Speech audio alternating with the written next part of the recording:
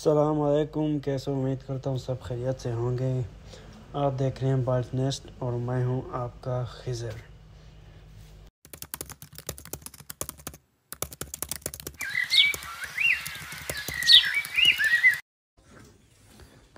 अपने पेरेट को जो है ना डाइट में मैं ये सनफ्लावर सीड मकई, बाजरा, ये हर चीज़ मिक्स जो है ना सीड डाल देता हूँ। और डेली सुबह उठ के जो है ना पानी चेंज कर देते हैं। और कभी कभार जो है परिंदों को, परिंदों में से अक्सर जो है वो पैरट या green parrot green ring neck ये हर सब्ज़ी, हर फ्रूट बड़े शौक से खाता है डाइट में। तो कोशिश किया करें कि इसे मिक्स करके दिया करें।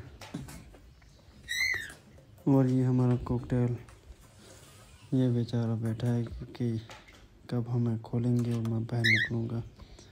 देखें इसको कितना पड़पड़ा रहा है अंदर जो है ना, कि मुझे बाहर निकालो बाहर निकालते ही देखो इसकी छलांगे मारना। अच्छा तो दूसरी बात चलते हैं कि मेरे ग्रीन रिंग नेक की ब्रीड क्यों नहीं आई?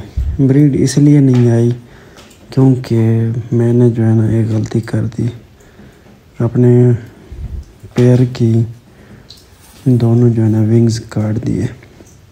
आपने ये कभी गलती नहीं करनी, क्योंकि मैंने विंग्स काट दी मुझे पता नहीं था।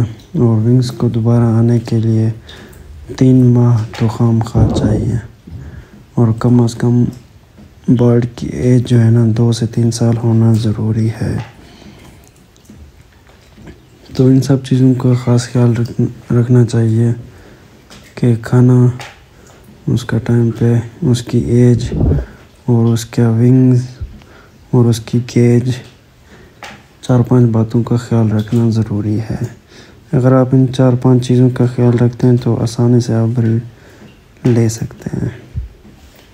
और सबसे बड़ी चीज़ ये बंदों से डरते भी बहुत हैं। इनको कोशिश किया करें ऐसी जगह पर रखें जहाँ लोगों का आना जाना ना हो। क्योंकि अगर बंदों का आना जाना रहेगा तो ये बहुत डर जाते हैं, जिसकी वजह से ये ब्रीड की तरफ़ नहीं आते।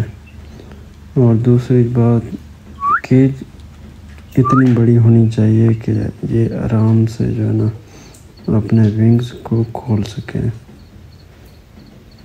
तभी जाके ये ब्रीड की तरफ़ जाते हैं, देखें अभी ये भी बिल्कुल डरा हुआ है और मादी भी फीमेल भी बहुत डरी हुई है।